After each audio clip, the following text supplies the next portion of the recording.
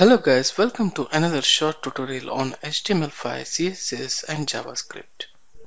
In this tutorial, I'm going to show you how we can make any content in HTML page as a full screen mode. There might be some scenarios where you want to show some images in a full screen mode or some content which you want to show in a full screen mode or any video or anything. Come let's see how we can make uh, use of HTML and make a full screen mode in our web pages. For that one first let me add a simple image in our code e for elearning.png and with the width of 300 pixels.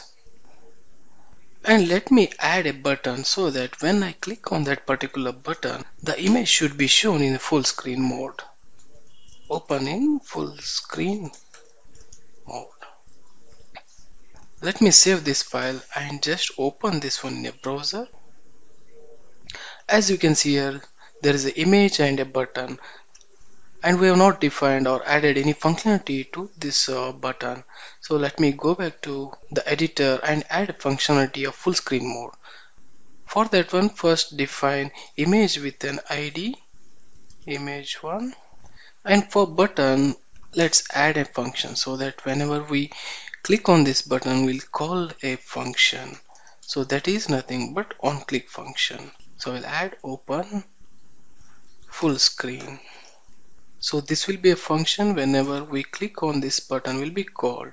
So I'm using a JavaScript here. So let me add a script tags open and end tag and a function. Let me create a function that will be open full screen function.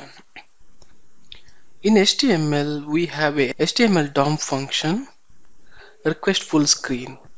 By using that request full screen HTML DOM function you can make this particular element as a full screen.